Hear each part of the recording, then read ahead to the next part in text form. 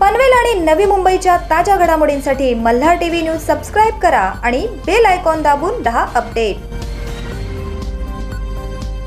पनवेल महापालिकेचा द्वितीय वर्धापन दिन आद्य क्रांतीवीर वासुदेव बळवंत फडके नाट्यगृहात सोमवारी मोठ्या उत्साहात साजरा करण्यात आला. त्यानिमित्त सांस्कृतिक कार्यक्रमाचे आयोजन करण्यात आले होते. या कार्यक्रमाचे उद्घाटन महापौर डॉक्टर कविता चौतमोल आणि आयुक्त गणेश देशमुख यांच्या हस्ते करण्यात आले. पनवेल महापालिकेचा दुसरा वर्धापन दिन विविध कार्यक्रमाचे आयोजन करून साजरा करण्यात येत आहे.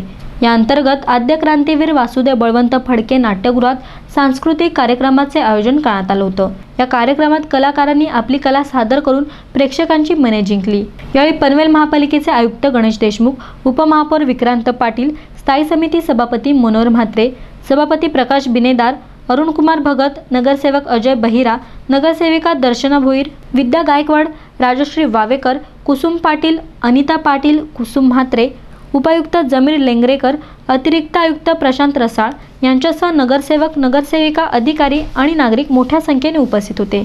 यावेळी महापौर डॉक्टर कविता चौतमोल आयुक्त गणेश देशमुख उपमहापौर विक्रांत पाटील यांनी आपले मनोगत व्यक्त केले. ह्या महानगरपालिकेमध्ये या नव्याने स्थापन झालेल्या महानगरपालिकेमध्ये नक्कीच ज्या ज्या गोष्टी नव्याने होणार आहेत ज्या ज्या गोष्टी इथे विकासाच्या होणार आहेत त्या सर्व गोष्टींना नक्कीच माझी साथ असेल असं मुख्यमंत्र्यांनी आम्हाला त्यावेळेला प्रचारातील आश्वासन दिलं होतं. आणि तेच आम्ही लक्षात ठेव ठेवून आहोत. आणि आता जे जे काही पनवेल महानगरपालिकेमध्ये नवीन प्रश्न उद्भवत आहेत त्यामध्ये पाणी प्रश्न असेल इथल्या इन्फ्रास्ट्रक्चरचा डेव्हलपमेंटचा प्रश्न असेल ते ते प्रश्न आम्ही सन्मान्य आमदारांकडे घेऊन जातो. आणि आमदार साहेब आम्हाला मुख्यमंत्री साहेबांकडे घेऊन जातात. आणि जे जे काही प्रश्न असतील ते प्रशासन आणि आम्ही लोकप्रतिनिधी मिळून असं एकत्रितपणे इथे आम्ही करत असतो. त्याबद्दलही मला परत एकदा सर्वांचं इथे अभिनंदन करावं असं वाटतं.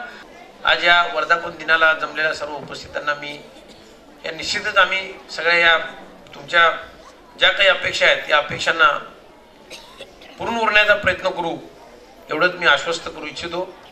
या वाटचालीमध्ये महापालिकेला संपूर्ण नागरिकांनी सुद्धा मोठ्या प्रमाणात सहकार्य केले आहे.